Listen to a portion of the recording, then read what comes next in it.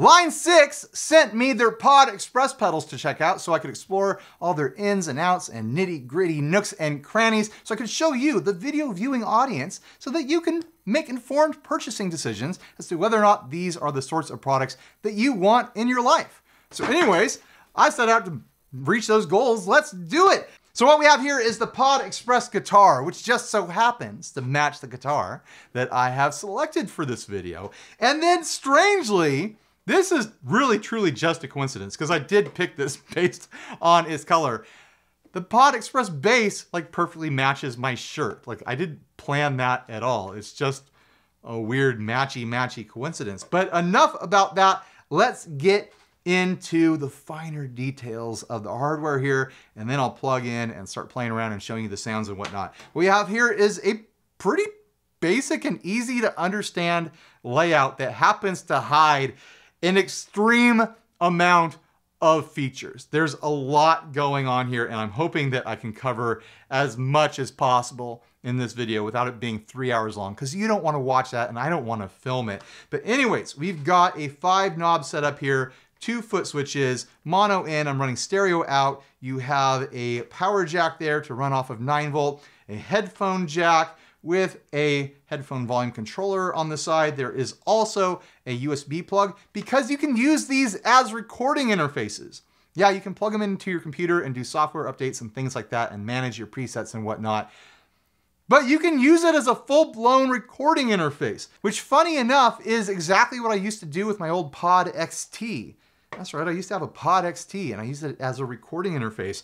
But anyways, let's get into the nitty gritty of all the knobs and switches and stuff like that. You've got a rotary switch to give you selections in between all your different amp settings. You have got distortion, modulation, delay, and reverb with four of those effects across each knob, giving you range as you see as you go along the knobs there. On the end of the delay knob, you have a built-in looper which is a fantastic thing to have. You also have a built-in tuner.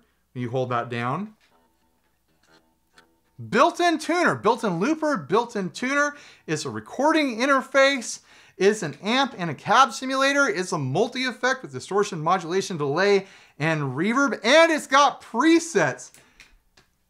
It's got like spots for 21 different presets, I think. It's easy to select them. You just hold down both foot switches and then you can scroll back and forth. There's a lot going on here and I'm ready to show it off. So let's throw on the headphones, which I'll be monitoring through, and we'll start playing around with the sounds.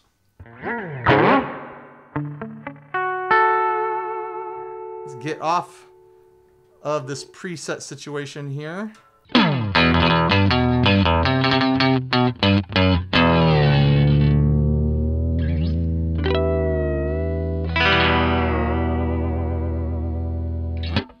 I am on the neck pickup right now, and you might notice that is dead silent. That's because there's actually a built-in noise gate going on right now. You can turn it off. You can bypass that, but you have to get into the deep dive that is the global settings, and I'm just not gonna do that right now. But let's explore some of the effects, and then we'll scroll through all the amp settings. Of course, I've got to show off that spring reverb first.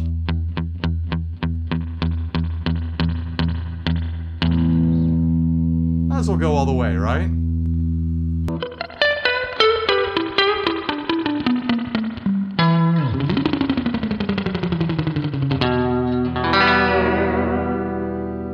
Turn it down a little bit.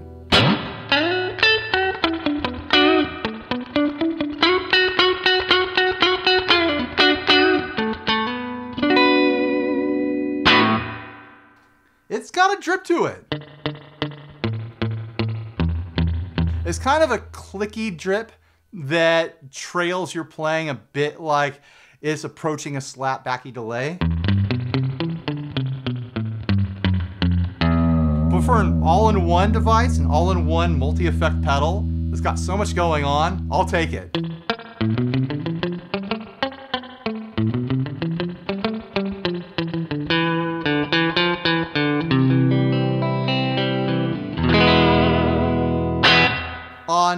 the hall.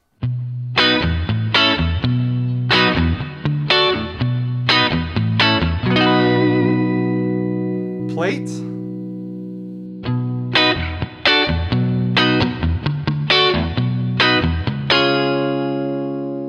Max it out.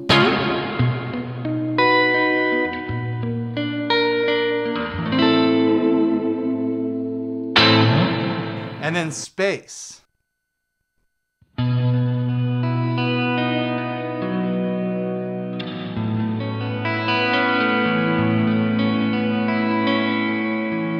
Your ambient needs.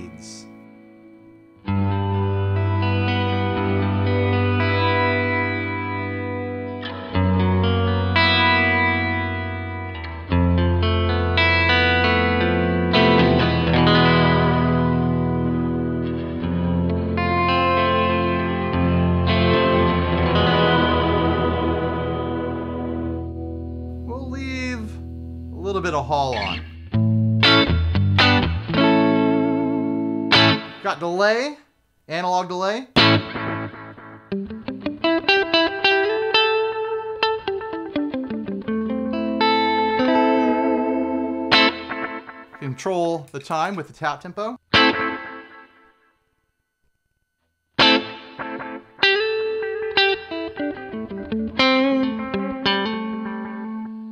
Digital.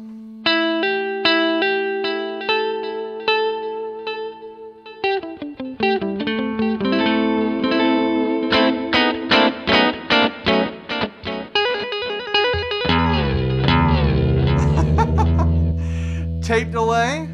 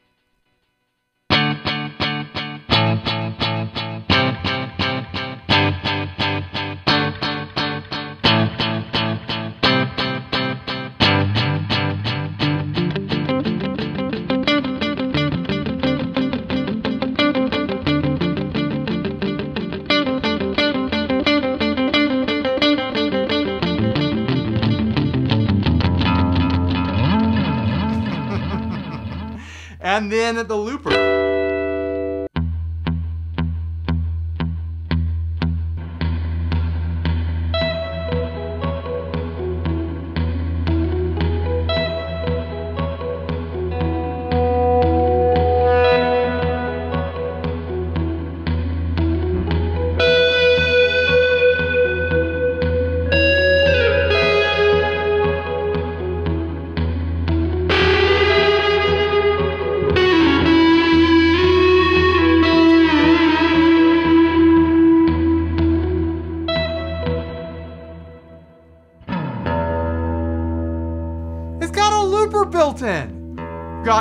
Distortion settings here. The first distortion setting is based on a Klon, if I remember correctly. Let's dial back that reverb a little bit, huh?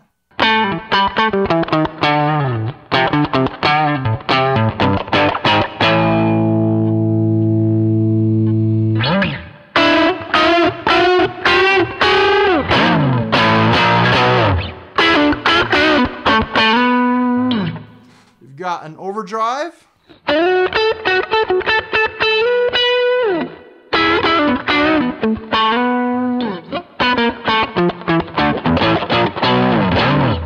Distortion. Might as well use the humbucker for that.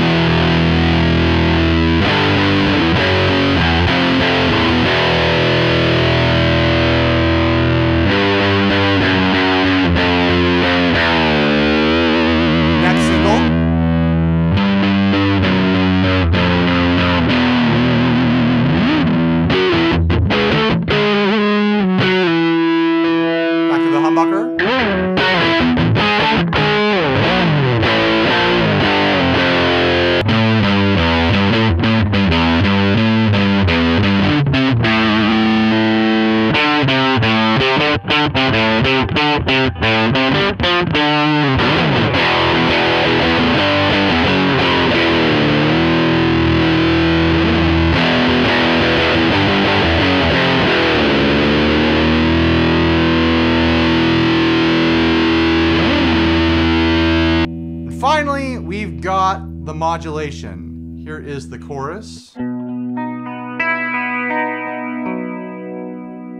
Might as well max it out.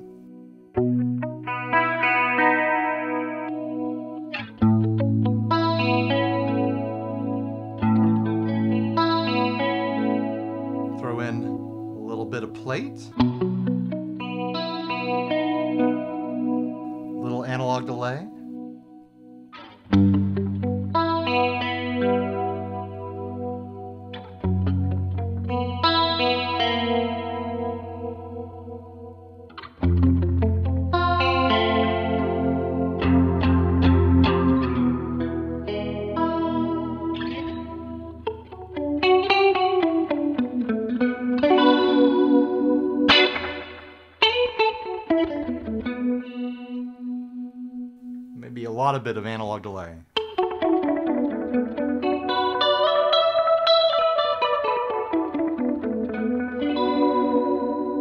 Get some overdrive in there.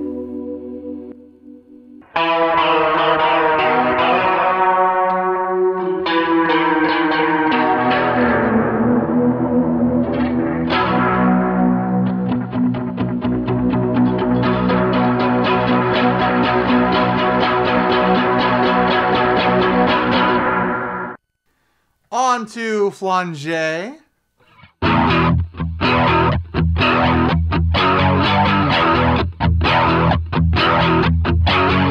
You change the speed of the modulation with the tap as well. Let's throw some uh, some fuzz on there.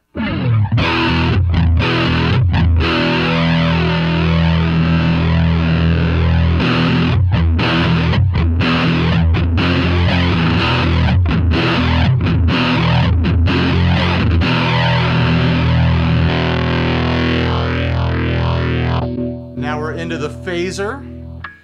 It's just a phase, Mom.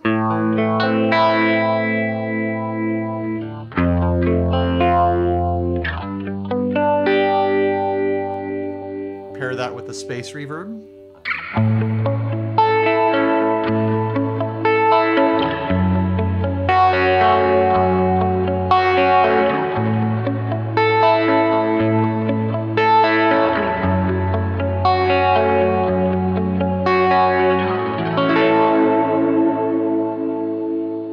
On to tremolo. This is a stereo tremolo. So if you are running stereo out, you're gonna have a stereo pan going on. Pull the reverb and the distortion all the way out.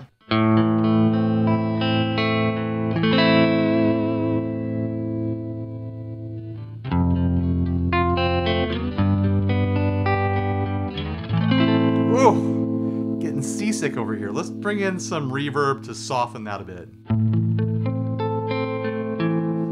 Down a little bit too.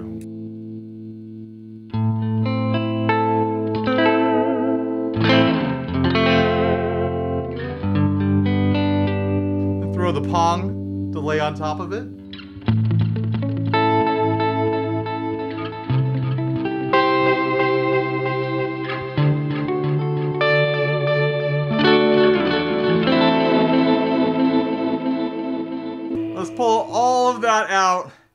And check out the alt settings now. You hold down alt and now you can adjust the gain of the amplifier.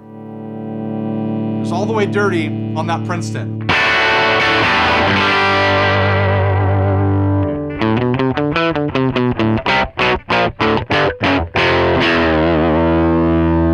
That's kind of ridiculous, so we'll pull it back a little bit.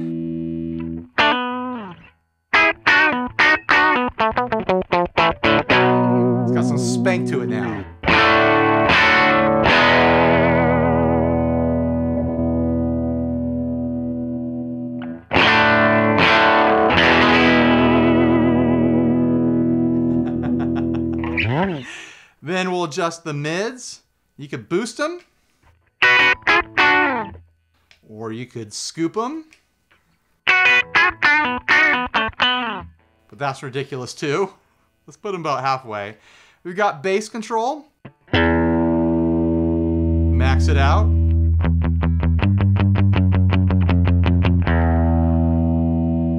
Pull it all the way out.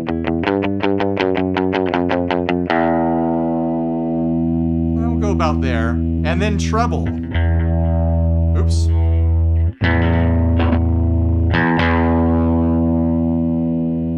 All the way up.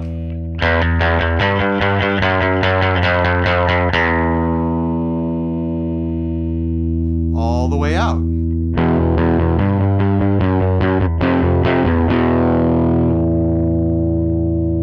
And return that to something resembling normal. Now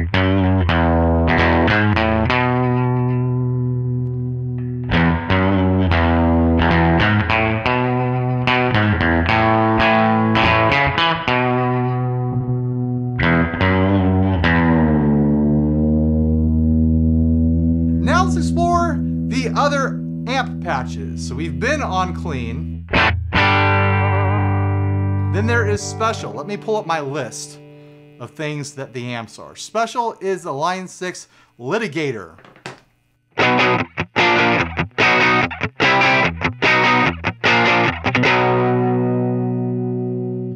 Check out the gain range on that.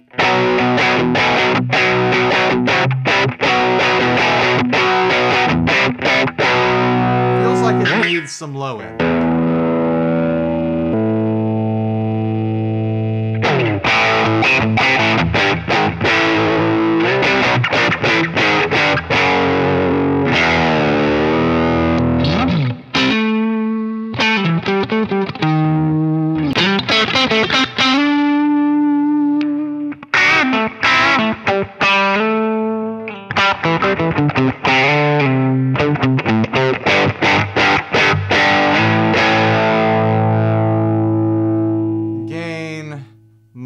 Down. Sounds nice.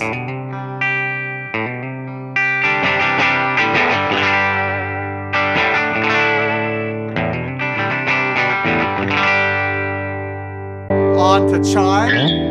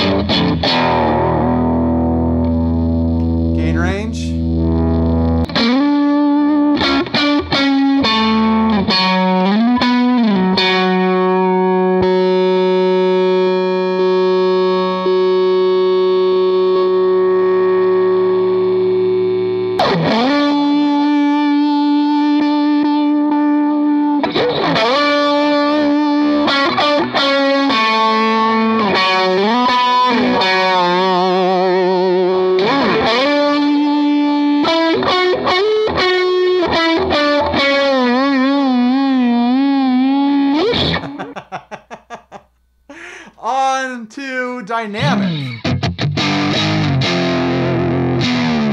Oh, by the way, the chime is based on a matchless DC30, and the dynamic is based on a Ben Adrian cartographer.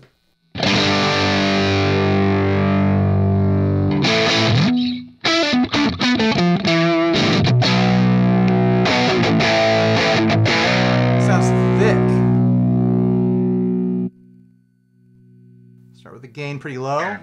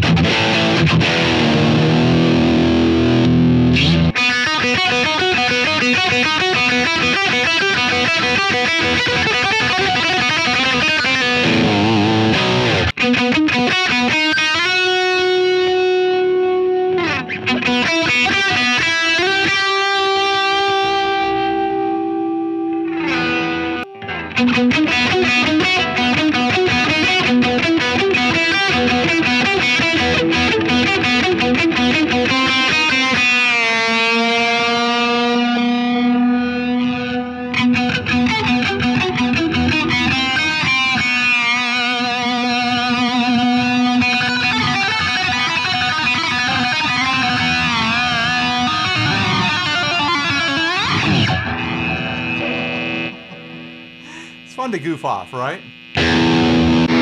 On to Heavy, which is based on a Line 6 Oblivion. Might as well get stupid here. Crank the bass and the treble, and scoop them mids, and gain all the way up.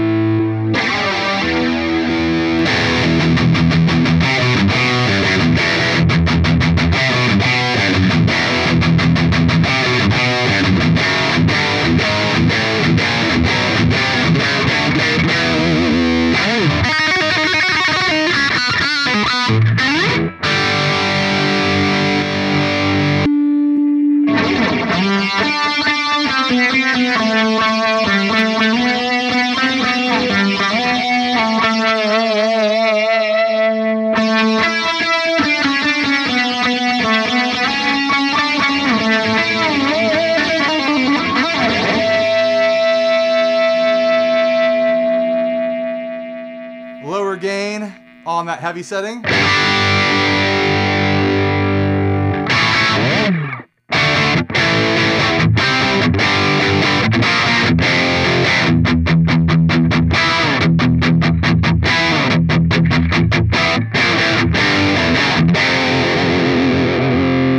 And on to the lead setting. This is based on a 5150. Yep, PV5150. Thank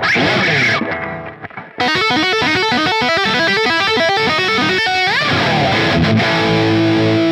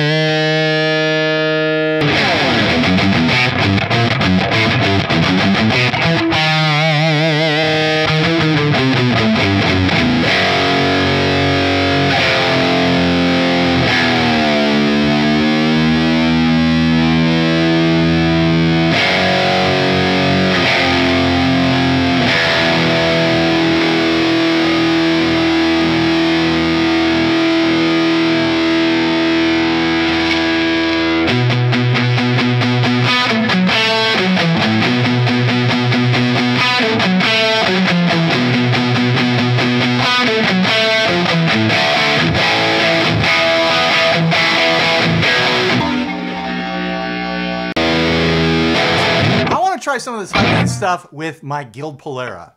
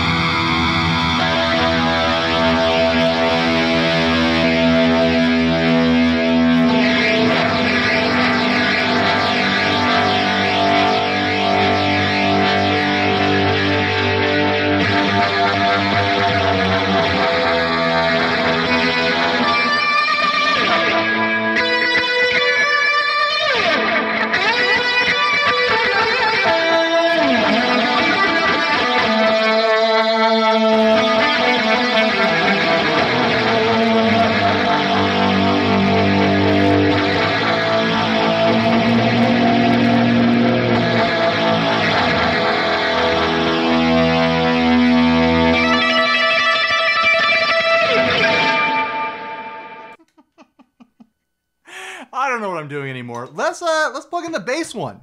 Start playing around with bass stuff.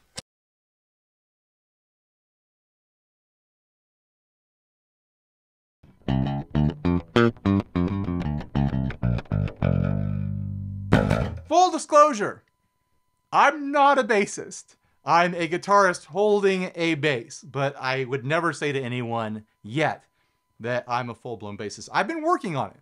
I've been trying to learn. I've been trying to learn to use my fingers. I was using a pick just there, and I'm I'm not quite there yet.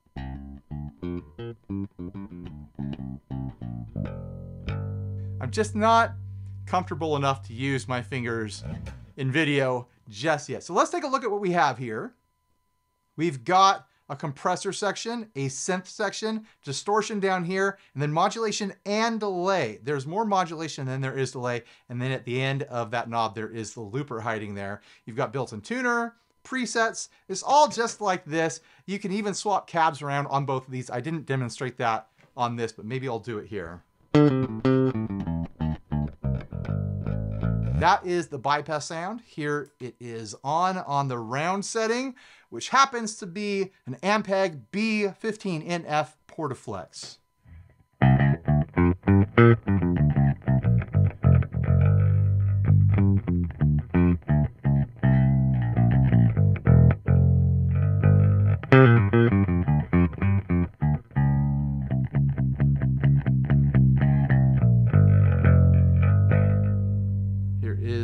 Next amp setting. This is Grit, which is an Ampeg SVT normal channel.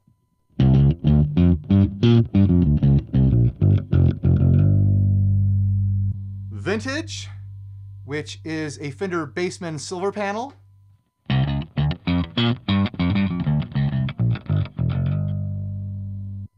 Punch, which is a Gallien-Krueger GK800RB.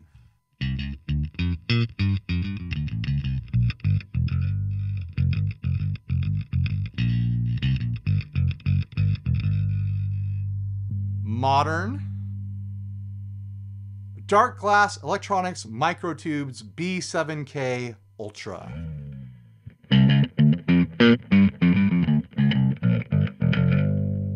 Studio. Aguilar Tone Hammer.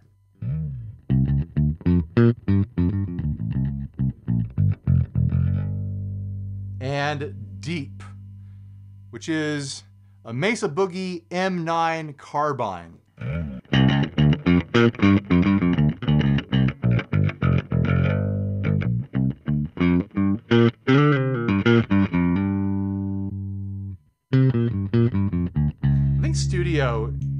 My go-to.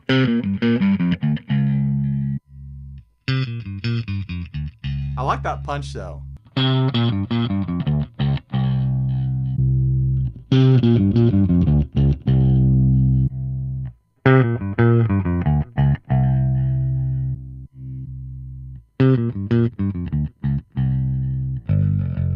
Yeah, I like the studio. Let's explore some of the effects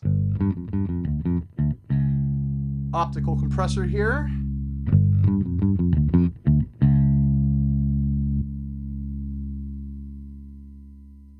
LA compressor. Sounds nice. Deluxe compressor. Punchy. And a limiter.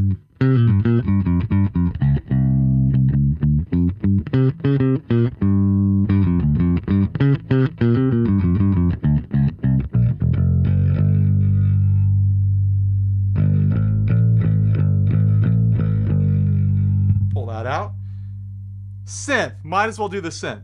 We have an octave setting.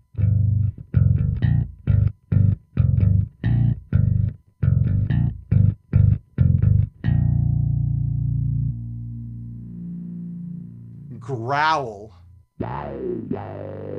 Try that with the uh, deluxe compressor. Yeah.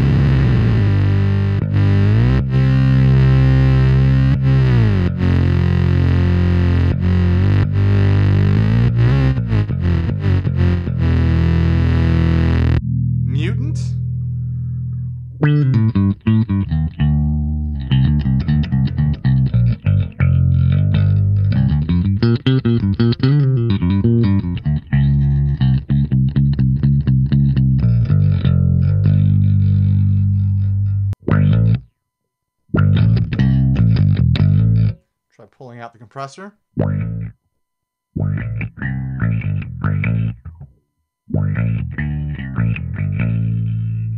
Now on to distortion stuff. We've got a booster.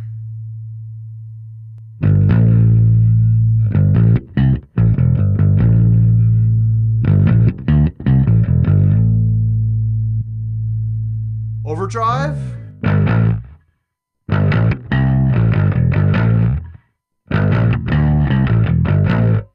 Distortion.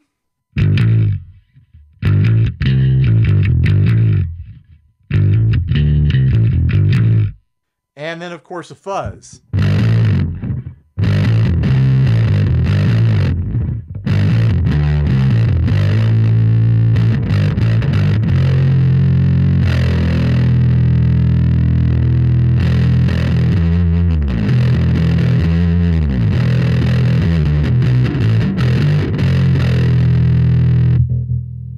Modulations. Here is the chorus.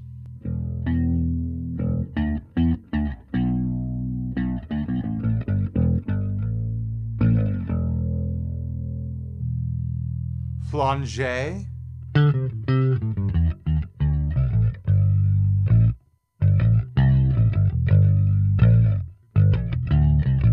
try that with some overdrive.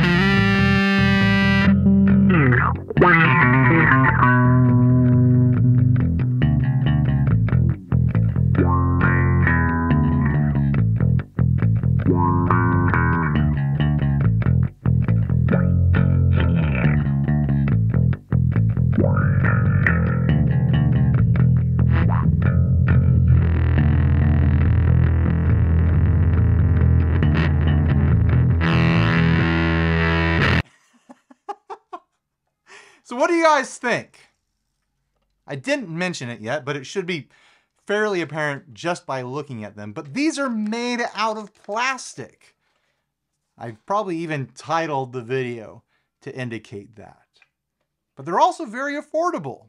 You get a lot here. There's a lot going on with the circuit, with the programmability of it, with presets, with the sounds that you can get and stuff like that. You can throw it on your pedal board and have an amp and cab sim that gives you a bunch of options with built-in effects. You can have something on your desk that operates as a recording interface. Inter an interface in your computer so you can record, you can reamp things through it, you can, you know, make little notes and sketches and doodles in your DAWs and whatnot. You can throw this in your car or in your backpack.